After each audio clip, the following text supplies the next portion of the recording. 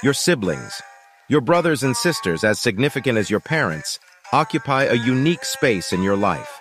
They are your first friends, your rivals, your confidants, and your co-conspirators in the grand adventure of growing up. Reflect on your shared childhood. Your siblings were there, their hands intertwined with yours as you navigated the world of wonder around you. They were the accomplices in your grand escapades, the fellow adventurers in your quests of imagination, and the loyal allies in your battles against bedtime and broccoli. Your siblings were the ones who shared your home, your parents, your experiences, and your dreams. They bore witness to your triumphs and your tribulations, often the only ones who truly understood the nuances of your unique family dynamics.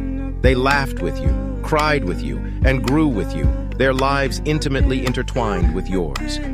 In times of conflict, your siblings were your competitors, your sparring partners, and your challengers. But through every argument and disagreement, they also became your teachers, helping you learn the values of compromise, empathy, and forgiveness. As we grow older and our paths diverge, it's easy to let the shared laughter and tears fade into the background. However, the bond between siblings is not easily broken. So I urge you to cherish your siblings while you still can. Remind them that they hold a special place in your heart, that the memories you share continue to shape who you are today.